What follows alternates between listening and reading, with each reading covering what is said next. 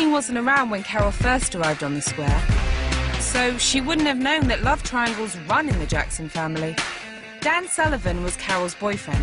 She was even expecting his baby. But at the same time, Bianca had a big love in her life, the very same Dan Sullivan. When Carol discovered the affair, it was the beginning of one of the soap's biggest rifts. It was nothing, nothing at all. Oh! You stay away from me! She hated her for 10 years Mum, please! because of her relationship with Dan. I'm your daughter.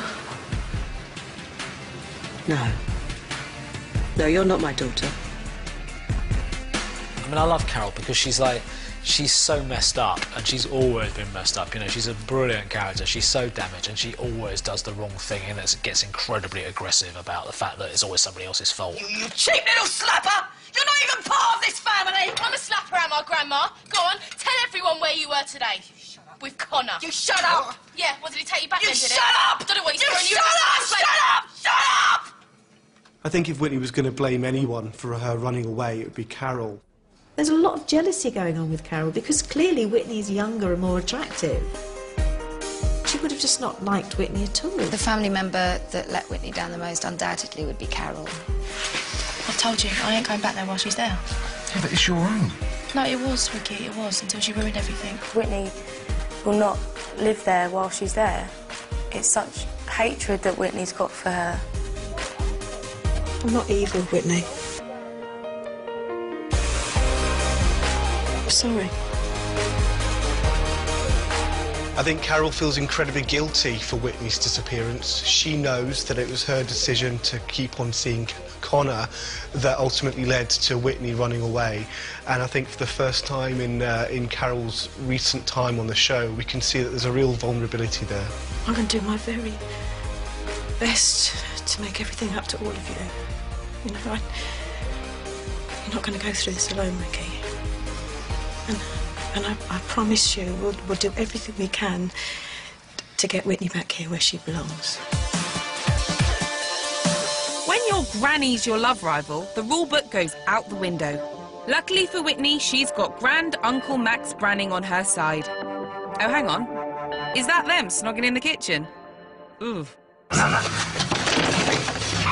Don't worry, this is one tryst Max didn't want to be a part of. What the are you doing?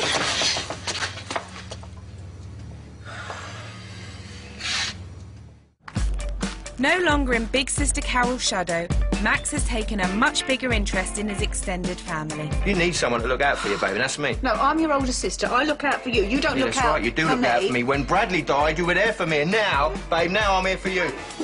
You can't help me. No one can. He's even established himself as a father figure on the square.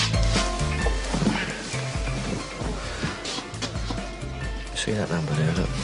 It's a superhero hotline number. You remember it, yeah? Superhero. Oh, sure. Oi, oi, don't tell everyone. I think family is everything to Max. He loves his kids above anything else, and uh, he'll do anything for them. He's a kind of like extra surrogate father across the square. Where's your superhero costume then? What's over the laundry, isn't it? Dot's giving it a wash. Serious, right? If you ever need any help, or if you're ever in trouble, you call me, okay? Come and rescue you. What flavour milkshake you want? Strawberry, please. Strawberry. But when Whitney leaves home and spends the night at Max's, Carol isn't happy. Oh, just send her straight back home.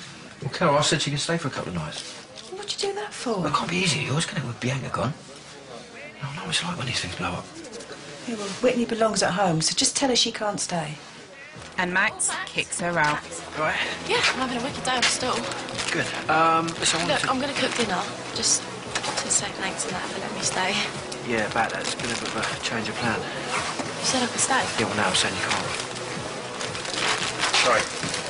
It's not long till Max gets a chance to make amends. Whitney goes to Lauren's movie night, watches a scary film, has a right laugh. Next thing, Janine bursts through the door. Now, what have you got that I haven't got? All right? You ain't all that pretty on the inside, and we all know a little something about that, don't we? Hey? Go on, get out. You could have saved me. Get out of there! You all right? Yeah, I'm fine. In the kitchen, come. I'll get you a drink. So you feeling better? Yeah, loads. Good. What do you need? Just what I call a horror night. Yeah, I always did prefer romance.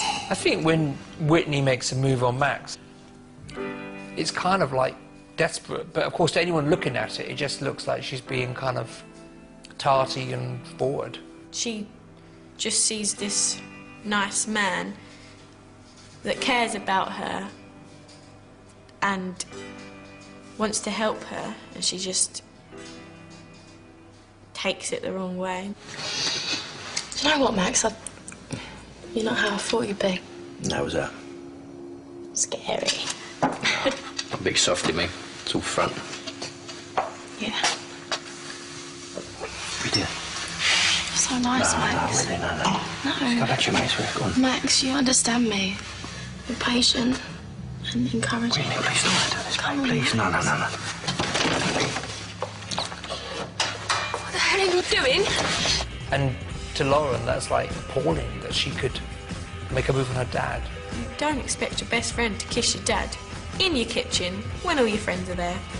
It's embarrassing and disgusting. For a rare time in Max's life, he, he did the right thing. Like Ricky, Max wanted to help, but he was already too late.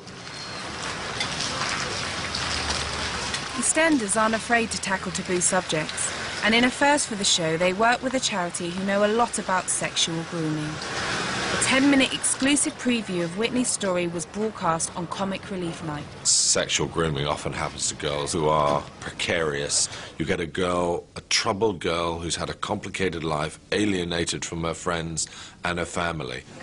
You must be desperate. Not got any family. No friends. Look, it's all right to admit that you're desperate, you know.